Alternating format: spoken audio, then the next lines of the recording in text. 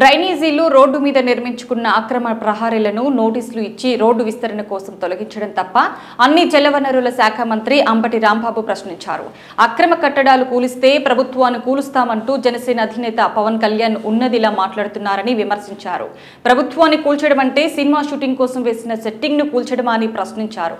ఇప్పటికీ ఇప్పటం గ్రామంలో ఒక్క ఇంటిని కూడా కూల్చలేదని రోడ్డు విస్తరణ కోసం కేవలం డ్రైనేజీలపై ఉన్న అక్రమ నిర్మాణాలు కాంపౌండ్ గోడలను మాత్రమే తొలగించినట్లు వివరించారు.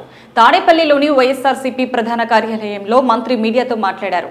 ప్రభుత్వం అంటే సినిమా సెట్టింగ్గా మంగళగిరి నియోజకవర్గంలో ఈప్పటం గ్రామాన్ని జనసేన అధ్యక్షుడు పవన్ కళ్యాణ్ సందర్శించారు. ఈ సందర్భంగా ఒక ఉన్మాదిలా భరితెగించి ఇష్టమొచ్చినట్టు ఇష్టం వచ్చినట్టు మాట్లాడారు.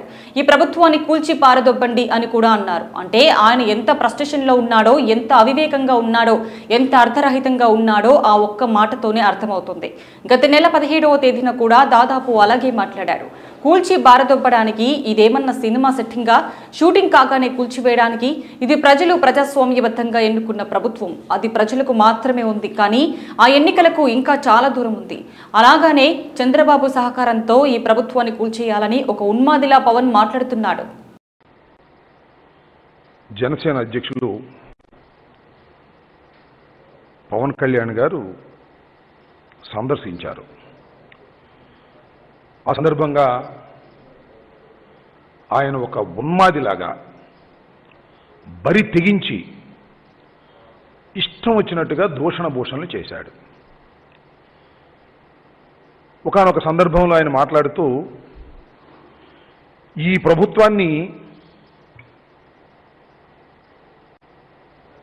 కూల్చి పారదొబ్బండి ఈ ప్రభుత్వాన్ని కూల్చిపారదొబ్బండి అనేటువంటి మాట మాట్లాడారు.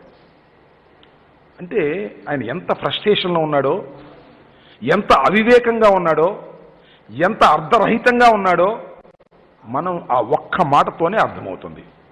మొన్న పదిహేడవ తారీఖున మాట్లాడినటువంటి మాటలు ఆ రకంగాను ఇవాళ మాటలు ఈ రకంగాను కూల్చిపారదొబ్బాలి అనేటువంటి మాట.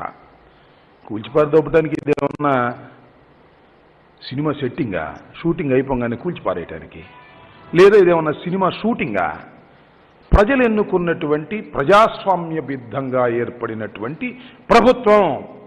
ఈ ప్రభుత్వాన్ని కూల్చే దమ్ము ఎవరికి లేదు. ఒక్క ప్రజలకు ఓటు ద్వారా మాత్రమే ఉంది. అది ఇంకా చాలా దూరంలో ఉంది.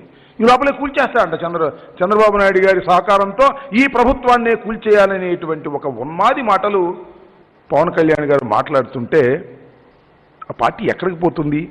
ఏమి చేస్తుందో అర్థం కావడం లేదు. అసలు ఇప్పటం గ్రామం మీరు ఎందుకు వచ్చారు?